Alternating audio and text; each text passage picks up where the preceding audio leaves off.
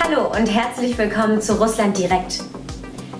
Der russische Präsident Putin hat vor der UNO nicht nur für eine militärische Zusammenarbeit gegen den IS in Syrien geworben, er ist auch gleich tätig geworden, sodass russische Kampfflugzeuge jetzt Ziele in Syrien bombardieren.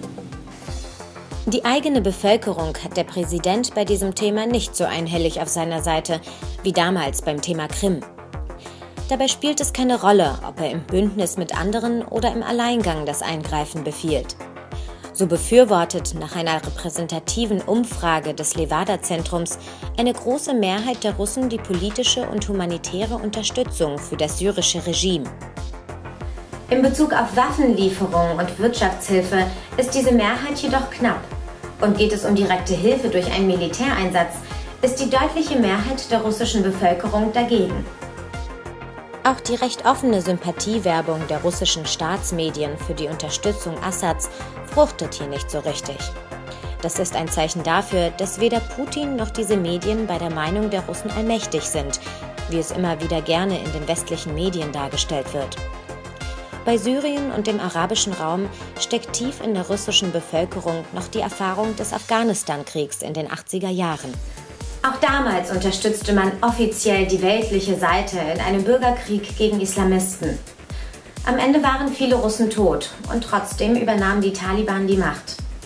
Eine Erfahrung, die heute in Russland ähnlich nachwirkt wie der Vietnamkrieg in den USA. Dabei sieht die Mehrheit der Russen schon den islamischen Staat als Bedrohung der weltweiten Sicherheit. Wer darüber informiert ist, dass in dessen Reihen auch Russen kämpfen, macht sich darüber ernsthafte Sorgen. Dennoch betrachtet die russische Bevölkerung den Konflikt in Syrien mehrheitlich als Bürgerkrieg, als innere Angelegenheit. Zwar wachsen die Sympathien für Assad als Gegner der Islamisten, aber dennoch sind immer noch mehr Russen neutral als auf seiner Seite.